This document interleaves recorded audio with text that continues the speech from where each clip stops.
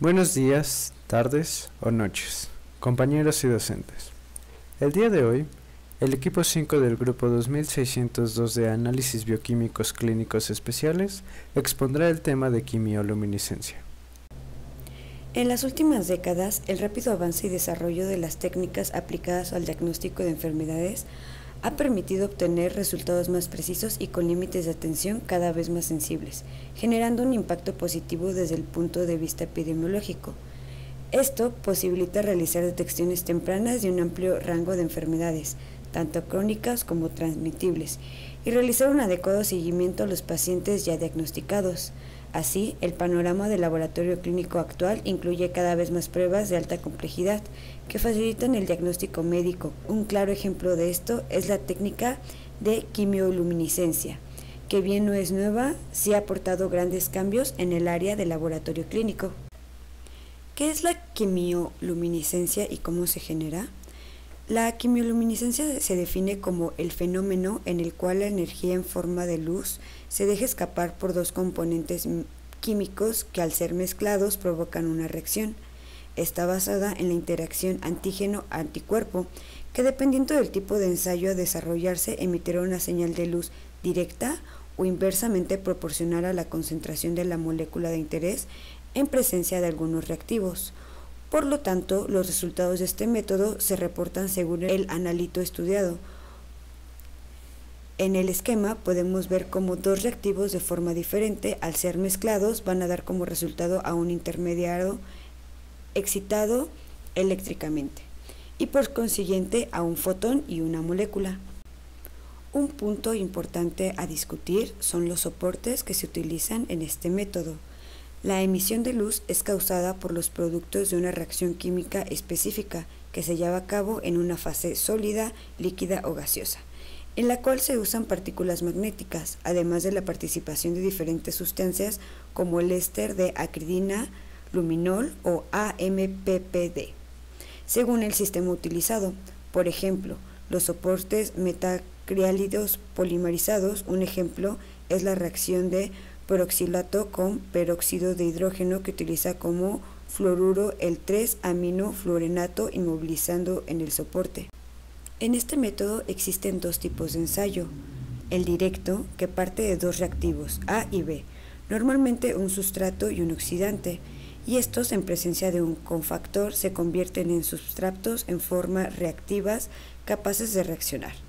A y B reaccionan dando un intermedio de reacción en un estado electrónicamente excitado. Este intermedio, al relajarse hasta el estado fundamental, emite un fotón, mientras que en el ensayo indirecto, para mejorar la sensibilidad analítica, se emplea como mediador un fluoróforo, al cual transfiere la energía de forma que el fluoróforo se excita y al volver a su estado fundamental emite radiaciones electromagnéticas como lo podemos ver en el esquema de abajo. Existen tres tipos de reacciones y estas van a depender de la fase en las que se realiza el método. Las reacciones en fase sólida son menos aplicadas debido a que son reacciones muy limitadas por la débil emisión, acompañadas de la oxidación de muchos materiales orgánicos. También encontramos a las reacciones en fase gaseosa. Son utilizadas combinadas con cromatografía gaseosa, y por último están las reacciones en fase líquidas. Estas son aplicables en la determinación de un amplio rango de analitos, desde elementos metálicos como cromo o cobalto a niveles traza, hasta un fármaco como troponina y acitrocomicina. En la tabla del lado derecho podemos encontrar los diferentes analitos, así como su reacción y su rendimiento. La biotina es una vitamina hidrosoluble, estable al calor pero susceptible a la oxidación. Actúa como cofactor de enzimas carboxilasas esenciales de distintas rutas metabólicas, como lo son el ciclo del ácido tricarboxílico, la gluconeogénesis y el metabolismo de la leucina.